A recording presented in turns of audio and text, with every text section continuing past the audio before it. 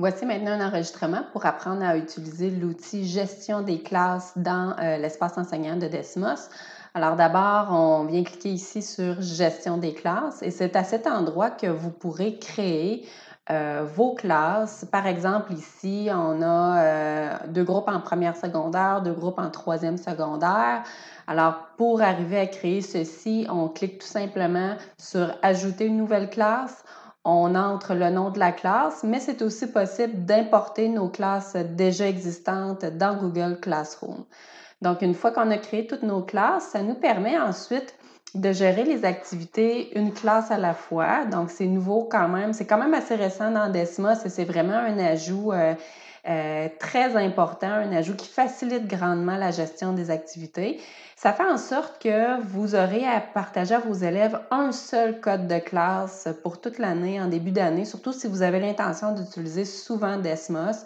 Donc, pour le groupe 101 ici, ça va être le code qui est ici, le J7KPDY. Donc, vous pouvez partager ce code-là aux élèves en début d'année ils vont toujours avoir accès aux, classes, aux activités que vous déposez dans cette classe-là.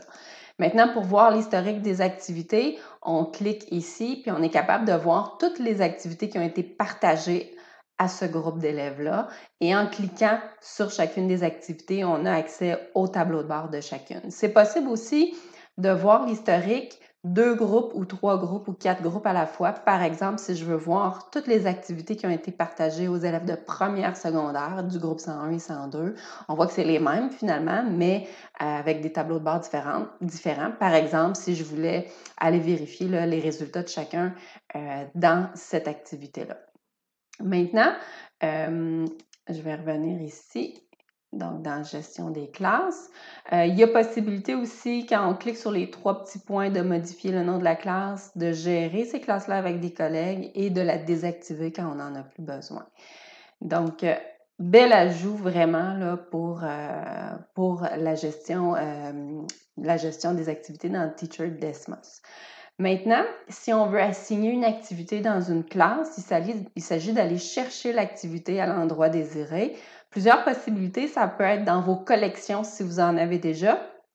Ça peut être dans vos créations si vous en avez déjà créé. Ça peut être dans les collections vedettes aussi euh, de Desmos. Par exemple, si je vais dans la première qui est ici, je fais un petit survol, j'en choisis une, par exemple celle-ci, ben euh, j'ai accès ici au bouton Assigner à. Donc, en cliquant, je vois toutes les classes que j'ai dans mon outil et je peux décider de l'assigner par exemple au groupe 303 et au groupe 304. À ce moment-là, quand on revient voir dans gestion des classes, l'activité du groupe 303, on voit que cette nouvelle activité-là a été ajoutée.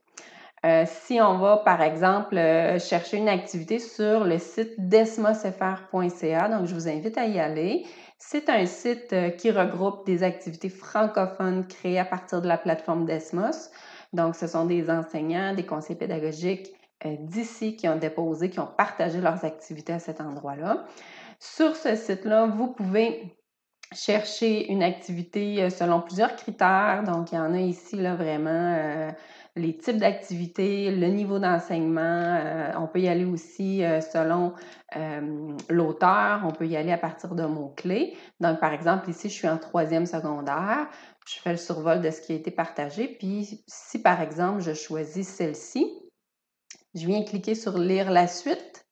Et ensuite, je pars à la recherche de son adresse teacher.desmos.com qui est disponible ici. Et c'est sur cette adresse-là qu'il faut cliquer et ça fait en sorte que l'activité est automatiquement intégrée dans votre espace enseignant de Desmos.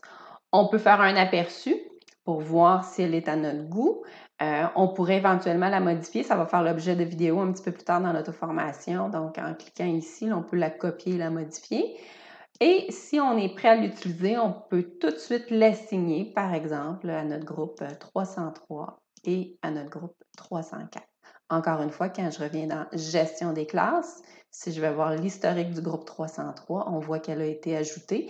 Les élèves, en se rendant, euh, euh, sur student.desmos.com, avec ce code-là, on peut leur partager cette information-là sur le tableau interactif, en présence, à distance. Ça peut être aussi via votre environnement numérique d'apprentissage, que ce soit Teams, que ce soit Classroom.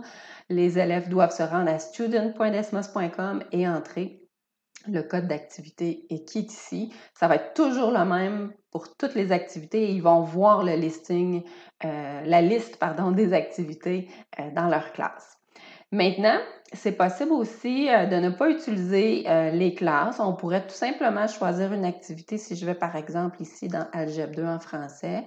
Donc, si je choisis une activité, je pourrais, au lieu d'assigner à mes groupes, je pourrais tout simplement euh, créer un code de session unique. Donc, ça, c'est un peu comme dans l'ancien modèle de Desmos. Donc, pour chaque activité, il existe un code unique. Donc, ça permet aussi de faire encore euh, comme avant. Alors, euh, voilà pour la gestion des classes dans Teacher Desmos.